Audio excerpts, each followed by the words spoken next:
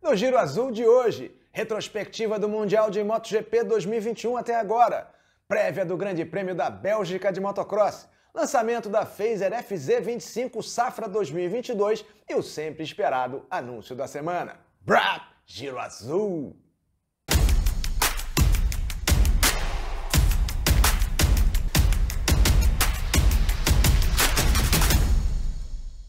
Começando o Giro Azul de hoje com uma retrospectiva da primeira metade da temporada 2021 do Mundial de MotoGP a uma semana do reinício das atividades. Coloque seu capacete, vamos voar com Fábio Quartararo e Maverick Vinhales.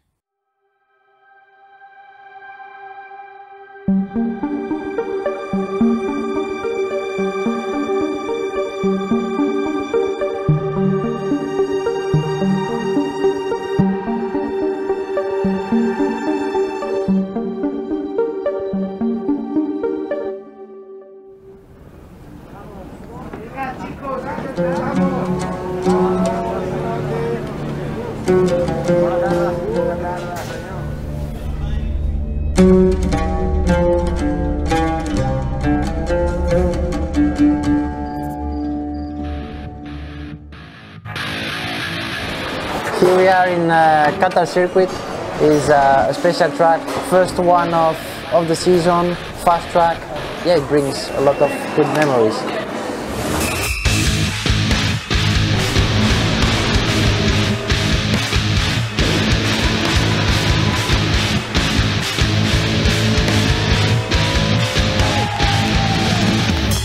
Today I will show you one of the nicest track of the calendar. Normally it's very difficult to have a ideal lap in this track.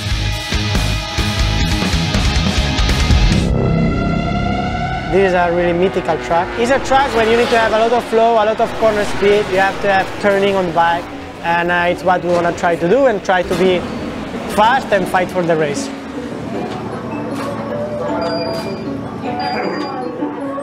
Basically what I can say from this track is that you have to be very focused, you have to be on a good line because it's very easy to make a mistake, it's easy to go wide and it's a track where demands you your best and I can wait to be there.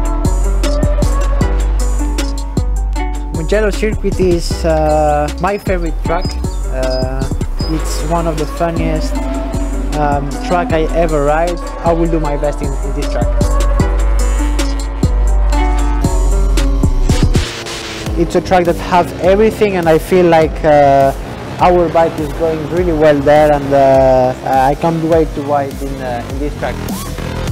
Saxon Ring track is a total different track from what we are used to race. Let's see if we can we can enjoy it well.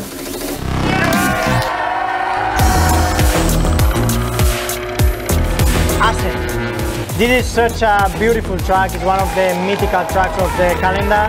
It's one of my favorite tracks. Uh, for sure, we're gonna rock it there and we're gonna go on a full gas.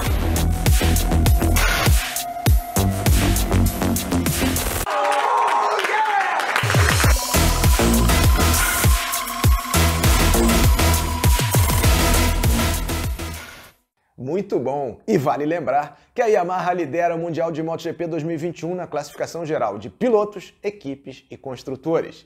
E esse fim de semana tem corrida, tem Grande Prêmio da Bélgica de motocross na desafiadora pista de Lommel e será uma corrida de casa para a equipe Monster Yamaha Factory Racing. Por quê? Porque as sedes das equipes de MX2 para 250 e MXGP para motos 450 ficam a cerca de 30 quilômetros da pista e os pilotos, os seis pilotos da equipe Yamaha, moram a menos de uma hora do traçado de Lommel e treinam lá com frequência.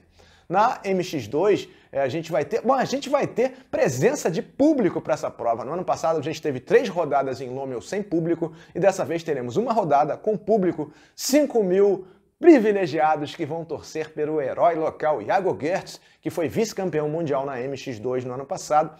O Gertz vem de pódio na República Tcheca e, claro, vai querer mostrar serviço aí para os seus parentes e amigos que vão aí lotar o circuito de Lommel. Porém, mesmo dentro da garagem, ele tem dois fortes adversários. Né? O francês é, Maxime Renault, que é o líder da MX2, tem o fundo vermelho na sua moto, e também o Thibaut Benistan, outro francês que vem de pódio inédito em Lockheed no domingo passado. Na MXGP, nós temos o suíço Jeremy Sewer vindo de pódio. Quatro dos seis pilotos da Yamaha foram ao pódio no domingo passado em Lockett. E o Jeremy Sewer está nos top 5 do campeonato, quer melhorar os seus resultados.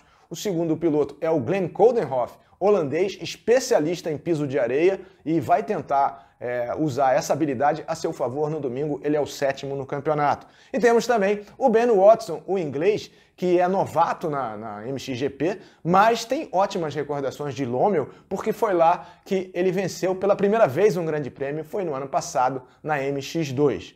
É claro que é uma pista tremendamente difícil, exige muito de suspensão. O ajuste de suspensão é o oposto ao usado em Locket, né, que é uma pista de piso duro. Na pista de areia, é, a suspensão é diferente e o esforço físico é ainda maior, porque as linhas elas abrem e fecham a cada volta, né? as trajetórias vão se modificando. Uma linha que é boa numa volta, na outra volta já não é tão boa, o pedal já é bem pior. E além da força física, os pilotos têm que ter muita força mental para ter manter a confiança, para encarar essas trajetórias a cada volta. Isso é bem difícil, vai ser fundamental, além do esforço físico, a capacidade de concentração para errar menos. Vai vencer quem errar menos neste fim de semana em Lommel. Aqui no Brasil, tivemos é, o lançamento da Phaser FZ25, né, a Yamaha 250 Safra 2022, e o Giro Azul esteve lá para testar a moto, para experimentar esse modelo na vida real. Girando para o interior de São Paulo.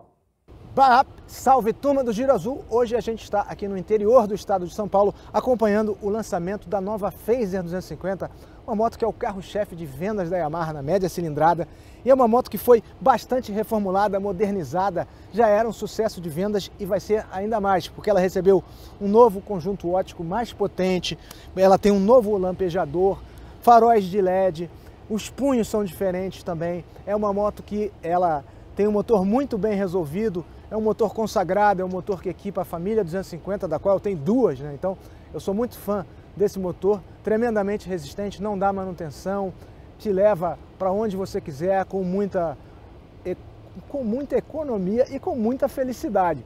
Tive a oportunidade de dar umas voltas aqui pela região com essa moto e com as outras motos também. E gostei bastante, sou fã da marca. Minha primeira moto foi uma Yamaha, minha moto atual é, duplamente Yamaha. E eu acho que essa moto veio para somar bastante no mercado que cresce a cada momento porque o consumo de combustível está cada vez é, o combustível está cada vez mais caro e a busca por produtos que consumam menos combustíveis, que sejam mais amistosos ao meio ambiente, está crescendo cada vez mais. Eu acho que essa moto tem tudo para dar certo. É uma moto que, em ordem de marcha, pesa 150, 148 quilos, menos de 150 quilos. E tem uma diferença bastante grande em relação à concorrência em agilidade, porque ela tem um entre-eixos mais curto. É uma moto muito fácil de pilotar, uma moto que qualquer pessoa pode andar com garupa, pegar subida, descida. Se precisar de freio, ela tem ótimos freios. Uma moto que realmente vai fazer um grande sucesso. Façam suas reservas, eu já fiz a minha. Obrigado, estamos aqui no Giro Azul. Fechamos no estilo esse episódio com o anúncio da semana, que traz a Phaser 250 em versão paquistanesa, lá chamada de A Senhora das Ruas.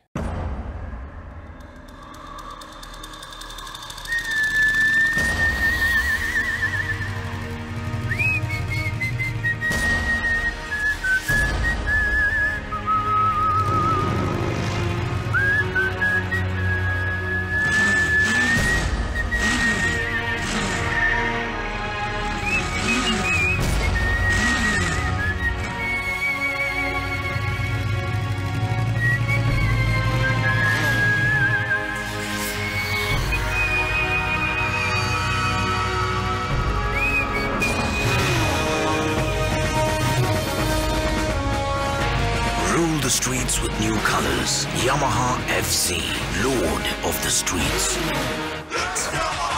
Muito maneiro esse anúncio, clima de Velho Oeste e as motos como animais selvagens com inteligência para identificar quem merece domá-las, quem merece pilotá-las. Norte, sul, leste, oeste, não importa para onde você vá, é a Yamaha em ação, acelerando nosso coração. Brap, giro azul.